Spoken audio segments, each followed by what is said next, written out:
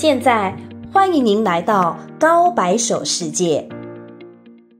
2023-24 시즌이 시작할 때만 해도 수많은 축구 팬들은 손흥민과 토트넘이 지금처럼 좋은 성적을 유지하지 못할 것이라고 예상했었습니다. 손흥민은 전전 시즌에서는 23골을 몰아넣으며 사라와 함께 프리미어 리그 득점왕에 올랐었지만 바로 지난 시즌에는 10골로 18위에 머물렀기 때문입니다. 이제 슬슬 에이징 커브를 맞이할 것으로 보는 사람들도 적지 않았습니다. 더불어 토트넘은 지난 여름 이적 시장에서 케인을 잃었고 이는 대부분의 팬들에게는 종말이나 다름없는 소식이었습니다. 케인은 토트넘 유스팀에 합류한 뒤 435경기에서 280골을 터뜨리며 토트넘 역사상 가장 많은 득점을 기록한 레전드이며 손흥민이 부진했던 2022-23 시즌에도 홀로 30골을 책임진 팀의 대들보였기 때문에 당연한 걱정이라고 볼 수 있겠습니다. 케인은 프리미어 리그 역대 득점 순위에서도 통상 213골 을 기록하며 앨런 시어러에 이어 2위를 달리고 있었기 때문에 두 시즌만 더 프리미어 리그에서 뛰면 역대 1위 달성이 거의 확실한 상황이었습니다. 하지만 그는 독일 바이에른 뮌헨으로 떠났습니다. 가능하다면 프리미어 리그에 남기 원했겠지만 토트넘 입장에서 최고 공격수를 라이벌들에게 넘겨줄 수는 없는 일이었겠죠. 왜 해리 케인이 토트넘을 떠나는 선택을 했는지 그 진심을 알 수는 없지만 아무래도 부진했던 팀 성적이 주요한 요인이 아니었나 싶습니다. 케인은 지난 시즌에도 엘링 홀란에 이어 득점 2위를 해냈음에도 팀 성적은 8위에 머물렀습니다. 그나마 전전 시즌에서는 4위라도 했었지만 8위라면 챔피언스 리그조차 나가지 못하는 초라한 성적이죠. 지난 시즌 우승팀은 엘링 홀란이 있는 맨시티였기 때문에 케인 입장에서는 나도 홀란 못지않은 활약을 했는데 왜 우리 팀은 이런가? 라는 생각이 들 수 있죠. 케인급의 선수라면 이제 돈이 큰 의미가 있겠습니까? 이제는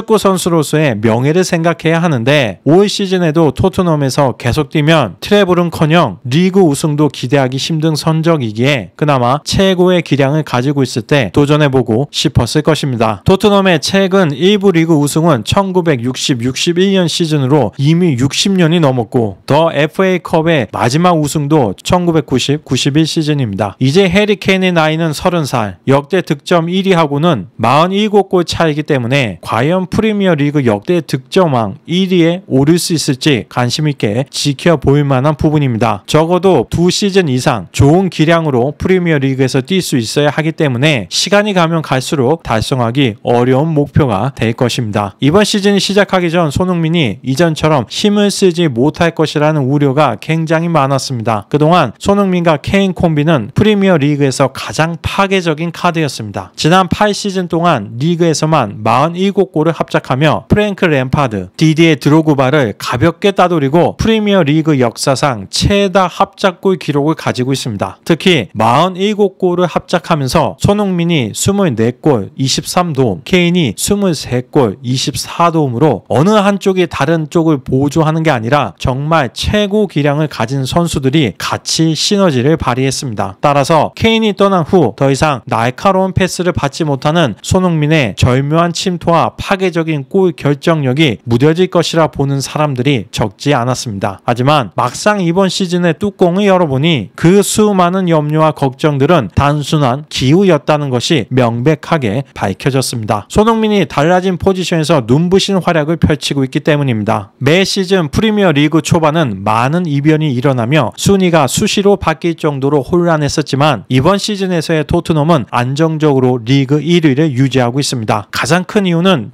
주장 손흥민이 제대로 해결사 역할을 하고 있기 때문입니다. 1882년에 창단된 토트넘의 141년 역사 속에서 비유럽 선수가 팀 주장을 맡은 건 손흥민이 처음입니다. 영국의 스포츠 매체 스카이 스포츠는 최근 토트넘의 상승세와 손흥민의 활약에 대해 다음과 같은 기사를 실었습니다. 손흥민이 전방 압박을 위한 스프린트 거리에서 1314m를 기록 리그 전체 1위. 손흥민은 원톱 스트라이커였던 케인이 떠난 뒤 측면에서 최전방으로 포지션을 변경했으며 포스테코글루 감독이 추구하는 전방 압박에서도 핵심적인 역할을 수행. 손흥민은 양발로 강력하게 마무리할 수 있는 능력이 있으며 윙에서 중앙 공격수로 이동했던 크리스티아노 호날두와 비슷한 길을 간다. 토트넘의 포스테코 그루 감독은 상대팀 후방으로 적절하게 침투할 수 있는 중앙 공격수가 필요했는데 이런 역할에서 손흥민은 케인보다 더 적격이었습니다. 즉 해리 케인이 떠난 뒤 손흥민이 최고의 활약을 펼치고 있다는 건 해리 케인의 이탈이 오히려 공격수로서의 손흥민의 잠재력을 모두 끌어내는 결과를 가져온 것으로 봐야 할 것입니다. 해리 케인은 분명 세계 최고의 공격수이기는 했지만 결과론적으로만 보면 그로 인해 토트넘의 잠재력이 제한되는 면도 있었던 것으로 볼 수 있을 것 같습니다. 매체 분석에 따르면 손흥민은 최근 3시즌 동안 상대 페널티 박스 안에서의 볼 터치 비율이 10% 미만이었는데 케인이 떠난 이번 시즌에는 19.4%까지 올라갔습니다.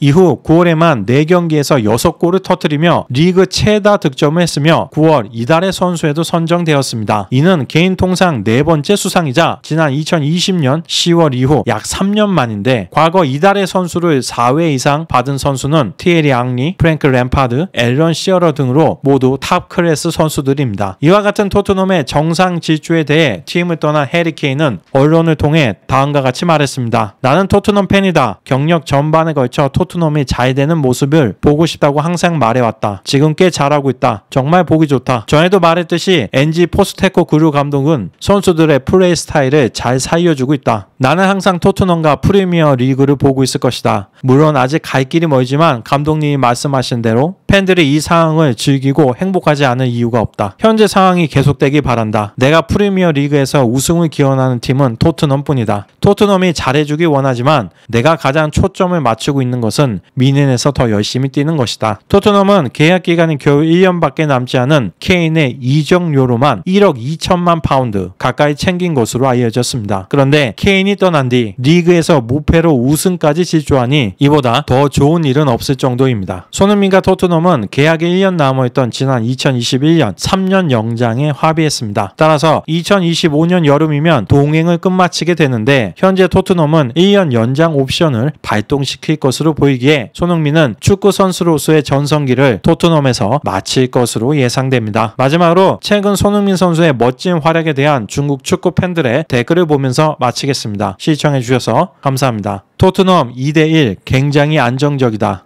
순지하이의 남동생은 정말 훌륭하다.